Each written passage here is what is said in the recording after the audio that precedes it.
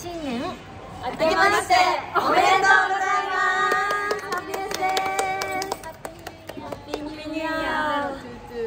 2022年になりましたけども、はい。まあ、2022年は2月9日ハピネスのデビュー日にあのエブリシングをね、リリースさせていただきます。ありがとうございます、えー、2022年、ハピネスこれから動いていきますのでぜひ皆さん一緒に、えー、楽しい1年を作りましょう。作りましょう。2022年のよろしくお願いします。ハピネスでした